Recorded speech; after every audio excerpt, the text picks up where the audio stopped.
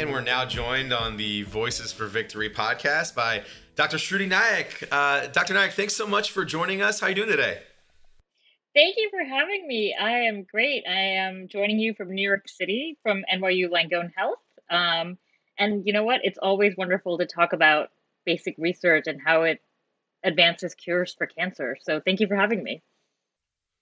Uh, it's our pleasure. Uh, there's a lot I want to get into with you on, on the research that has been funded by the V Foundation you've been working on, and so much more just generally about about the field of cancer research. But um, to start with, anytime I have uh, one of our researchers on on the podcast, I also like to I also like to get a feel for you know how you got to where you are today. What sort of your road, your your path you've traveled to get here was. So, what was you know when you were growing up was not even specifically cancer research, but was science always something from the time you were a little kid? Hey, this is where I think I'm going to go with my career. Oh God, no! I was never the smart kid. I was always the funny kid. So I actually really wanted to be a stand-up comic.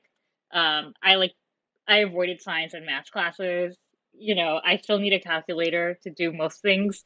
Um, but but I actually was watching TV one day and I was you know somebody really remarkable came on um, this professor Bonnie Bassler at um, Princeton University who studies how bacteria communicate with each other. It, it, and basically uncovered this really fascinating thing which is if you have you know just one bacteria sitting in a dish it just behaves like a normal bacteria. But as it multiplies and grows and builds a quorum uh, it can communicate with each other in very different ways and turn on the color green, so green fluorescent protein. And so there were these glow in the dark bacteria that really taught taught us about how cells interact and multicellularity, which actually is quite important for our understanding of cancers, which are cells that are multiplying and proliferating, and how a cell may behave when it's a singular cell versus a big tumor is maybe very, very different.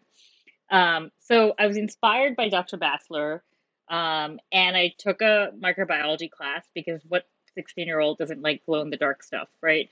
Um, and, and so that's that's basically um, how it all got started.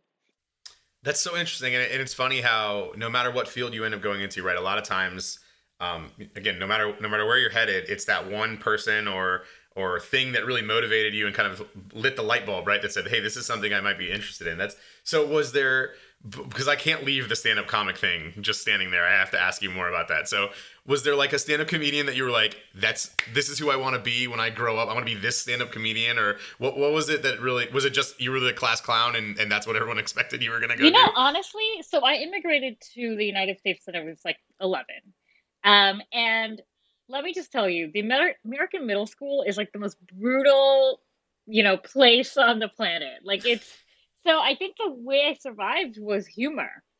Um, it was a really nice cultural conduit to talk to, you know, other kids in school and and so that sort of became this way that I could connect with people, despite the fact that I was from a different place and I sounded very different and my food smelled different um, you know, I think laughter is something that we share universally as as human beings.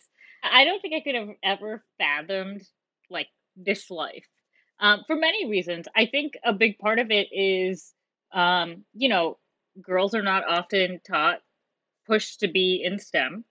Um, it just not so. I mean, I think things have changed quite a bit since I was in middle school, but I still think this this continues to be a problem where math and science, these things where, you know, people typically associate with smart kids, women are not encouraged to go into those fields. And there's tons of data out there, you know, in the classroom, teachers sometimes call more boys than girls, or there aren't as many um, heroes or as many people that girls can look up to um, in the sciences to to sort of say, oh, I can be like that person. Um, and I think that might have had a lot to do with it. And I think seeing someone like Dr. Bassler, who is this remarkable scientist, but also a remarkable person, she's very engaging. She's, you know, when you talk to her, she was very excited.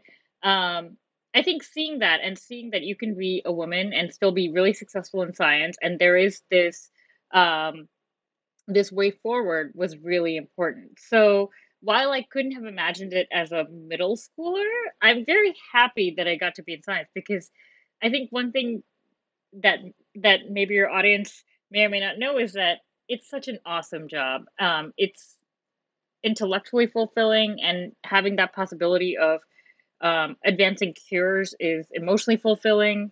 So it's it's been great. So in uh, in, in 2019, you received a V Scholar grant from the V Foundation, which um, when we've talked to our V Scholars, they're pretty um, you know pretty much all on the same page on the importance of these type of grants to get young researchers going. Um, what did getting that grant mean for you in your career? Yeah, maybe we could just take a step back and just talk about how science is funded. So there's, you know, despite the fact that there's a there was a pandemic, right, and that we, you know, that we suffer from many many health crises, cancer being among one of them, diabetes, neurodegenerative diseases. Science is actually not well funded in this country. It's not even one of the top funded initiatives in the country, right? And most funding generally comes to the government. And and the other sort of a sort of not so great feature of this is that young people, where most of the ideas come from, find it the hardest to find funding. So the ones who are the most willing to go out there and do risky science and ask those off the beaten path questions that could really lead to new cures have the hardest time finding funding. And I think this is where, so I think the V Scholar program really addresses both those issues in the best possible way, which is finding scientists really at the start of their independent career. So, right when they're starting their own independent laboratory and saying, We're, you know, you've performed so well, you've done so well over, in your discovery so far, um, that now that you're going to venture out into your own, we want to give you seed funding to really go after these ideas. And that's kind of what the V Scholar program did for me. It was a really, right after I had started my laboratory, and having that money allowed us to have the runway uh, to one, stay afloat, but two, ask about how, you know, inflammation impacts cancer predisposition. And, and and I think that was transformative because it allowed me to stay in science and in a way that it may not have been possible without it. And you mentioned there a, a line on how inflammation impacts cancer, and that's kind of the focus of, of your work that was funded by the V Foundation. Tell us a little bit more about about what you're looking into there and, and what you found in, in, so far as you've been getting your lab up and running, and and uh, just kind of give us the big picture view of, of the work that you're doing. Yeah. So I think we we hear this word inflammation a lot, right? And I just taking a step back even from cancer, like what is this word inflammation? Uh, because it seems like uh, it could be a lot of different things. And I think if we break down inflammation into two different categories, acute and chronic, um, things start to become a little more clear. So acute inflammation is the stuff where uh, you know you have heat, pain, redness, swelling. Um, and and you kind of feel the inflammation, but then it goes away. It resolves. And chronic inflammation is like a low grade stealthy inflammation that isn't very often detected, but actually causes a lot of damage and promotes cancer. And this type of inflammation has been studied in the context of cancer well. The type that hasn't been studied nearly as well is acute inflammation and what happens after we undergo these inflammatory bouts. Like you have a sunburn, you have a rash, you have, you know, a minor infection those things largely go away, they resolve. But how do they alter your susceptibility to cancer causing agents? How do they change the way your body reacts to cancer causing agents? Has not been well studied, and that's what we study. And the reason that's really important is because when people think of cancer, they think of a mutation. Um, and then you have this mutation in the cell and it grows out of control. But the truth is, many of our cells are mutated. Mutations are a normal part of cells dividing. They cause, you know, we know this now because there have been studies where people have looked at mutations just in healthy skin and they find that there are a lot of cells that behave perfectly normally that have mutations in them. Um, but I think the key difference between one that progresses to cancer and one that doesn't is still unclear. And we think a key element of that progression is that inflammatory component. So if we could identify what those components were and then mitigate them, get in the way, intervene early, right? Could we stop cancer from ever forming? Could we predict people sort of cancer predisposition and and help them make lifestyle choices um, that would divert that outcome? Um, you know, I'm I'm an optimist. I don't want to just find cures. I want to find prevention, right? Um, and so that's the goal of our research. So what's kind of the roadmap to get us there? What it, what does it look like when you look? Uh, you're looking at here's what our work's going to look like. Um, you know, X months, years down the road. What's the path you're taking to get to hopefully you know where where you want to be at the end?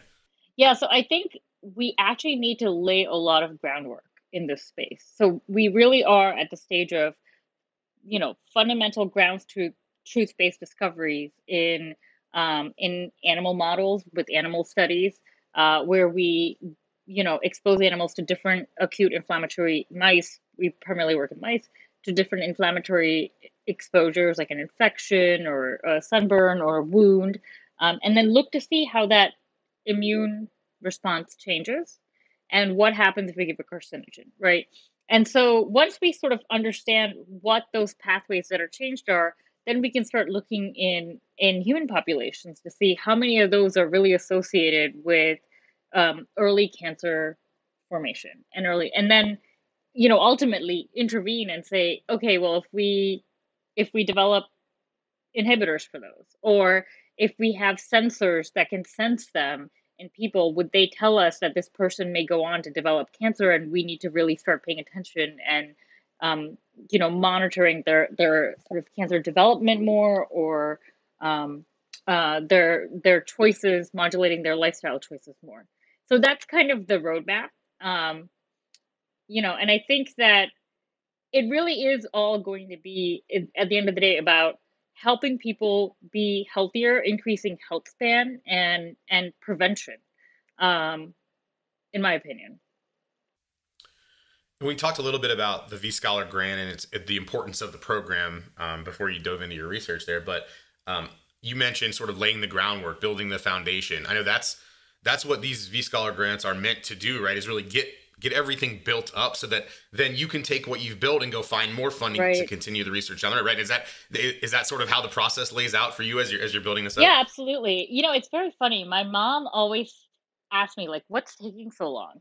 Uh, she's a, she's like, "Why haven't you like figured this out yet?" Um, and I think uh, I think a lot of people wonder like, why does this take so long? Why do we not have a cure yet? And the truth is, science is really hard and meticulous right? We're solving one of the most complicated puzzles in the world, our biology. Um, and so it really does take a lot of time. It takes a lot of intellectual effort, it takes a lot of financial resources. Um, and so having funding from places like the V Scholar grant, I think is like ideal in this sense. It really lets you start putting the pieces of the puzzle together in a careful way at the stage of your career where you can use that to build upon um, and and and sort of create this tiered effect of discovery. Um, and so I, you know, I often say to my mom, like, I, I, you know, I'm sorry, I'm not as fast as you, mom. I can't just like code an answer to this this problem, right?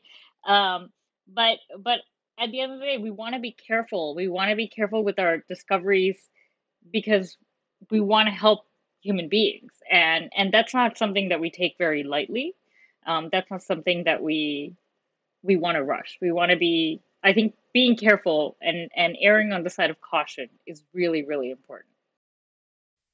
Well, I'm glad you said that too because that's something we like to make sure our donors and our supporters are aware of. Is that like you know these things do take a while. We've had some amazing. Yeah. Um, you know, since the V Foundation's creation in 1993, the expansion of uh, treatments and, and more research has been incredible. But there's still obviously a lot of more work to do, and that it, it takes time to, to get to that work. So I'm, I'm glad that you mentioned that too. Um, one one thing I wanted to ask you about, uh, Dr. Naik, is um, diversity in research. You mentioned this a little bit earlier that um, you know women haven't always had as many opportunities in, in the science and, and math field. Um, how important is it in specifically the field of cancer research, but science in general too, to just have a, a diversity of thoughts and backgrounds in the space? Um, when when you're all sort of working together here toward, towards a, a common goal. Yeah, I think just goes back to this idea of like how do we problem solve? How do we solve puzzles? Right? Like if I was to ask you, so if you and I were in a contest in how to solve a puzzle, and you could have three people on your team, would you pick three people that were just? Would you clone yourself two times over, or would you pick two other people who thought very differently than you? Um, and my answer is I would every time pick people that were very different than me because we could approach that puzzle from different angles. Uh, and I think, you know, that is to me the essence of why we need diversity. We need diversity of thought. We need diversity of expertise. So we need to approach cancer from a genetics angle, from the immune system angle, from metabolism. Cancer metabolism is very different than metabolism of healthy cells. From you know, uh, like literally cell bio- cell biology, how these cells behave, um, human physiology, our exposures. So not only having a diversity of scientific perspectives, but a diversity of individual perspectives is really important. And in order to do that, you really need people from different backgrounds, right? Different lived experiences, different ethnicities, different, you know, cultural backgrounds, different educational backgrounds. So at the end of the day, the advantage is really if you want to make breakthrough discoveries, you have to find people that think differently and get them to work together. And this is where I actually think the uh, it's not just the funding from the V Scholar program that's really great, but you have the yearly retreats uh, where you bring people together, right? And and you bring people from different backgrounds, clinicians, basic scientists, um, from all over the country together, and that I think is also transformative in advancing discoveries. Yes, and we we just had our our V Scholar Summit in in May last month, and was a a wonderful event. Great to see a lot of our a lot of our young researchers, and they were they were all of them that I, talked to a lot of them for some content we're putting together, and all of them were just so happy to be in the same room as each other after a couple years of of COVID and not being able to see each other. And you could tell how excited they were to talk about their work and, and collaborate. And um, I think uh, I think it was Dr. Uh, Chad Hurry said to me. Um, uh, you know, science doesn't happen in isolation, right? Science happens when we collaborate and we work together, and um, and that's something that that the V Foundation has been very supportive of. We want our, you know, we want to help promote that, and and the V Scholar Summit is certainly something that we we do for that. Um, Speaking, uh, if you were to to speak directly to a potential donor to the V Foundation uh, who's considering making a gift to support cancer research, um, what would you say to them to explain why supporting cancer research now is so important? I think we're in an era where technology has really opened doors for us in ways that even five, ten years ago were like inconceivable, right? And so cures have are like within reach. And I think the and the other thing that is really fantastic is uh, we really have a lot of smart people working on this problem. The one limiting factor is the money, the resources, right? And so that is really what's going to get us uh, over the sort of finish line of, you know, how do we get immunotherapy to work 100% of time um, instead of depending on which cancer it is, you know, 30 to 80% of time. Like um, how do we come up with new combinations of therapies? And can we co opt cancer therapies for other diseases? I mean, uh, so one example of that is CAR T therapies, which are these engineered immune cells that attack tumors, right? People are now starting to co opt those for a number of other diseases like fibrosis based diseases that really damage organs, um, atherosclerosis, you know, various uh, conditions uh, where you have blockages. Um, and so remember that when you support cancer research, you're supporting finding cures for cancer, but you're also supporting finding cures for you know a number of other diseases that may not have the same uh, patient populations but impact humans in really profound ways yeah that's that's really well said and i know um, the one thing our, our donors do know about us is, is that 100% of their donation is going to go directly to cancer research. Um, Dr. Naik a last question for you, and we will uh, we will get you out of here. Um, what would victory over cancer look like to you? I think victory over cancer would look like not just finding cures, but finding preventions. So not only you know, and again, this is within our reach. I think um, not only you know if someone develops cancer, we detect it early and we intervene early, so not another life is lost to cancer but if we could say, you know, here is your cancer risk and really early on, not just based on uh, genetics, but your environmental exposures and prevent cancer from ever forming, then to me, that's an ideal world. Well, as long as we keep funding uh, talented uh, researchers and scientists like yourself, uh, I am confident that, that we will get to where we want to be. And uh, Dr. Naik, I know if if you can make it to one of our V Scholar summits in the future, we maybe set you up with a stand up set. We'll get you up on stage, have you tell a few no. jokes. Um, you harken back to your to your younger days when you thought comedy. My might type be the, five is not that good. you don't want to do that. Uh, well, Dr. Naik, thank you so much for joining us. Thank you so much for all the wonderful work that you are doing. Um, and we are very excited to continue to see how you grow and your lab continues continues to do amazing work. So thank you again for joining us. We really appreciate it. Thank you so much.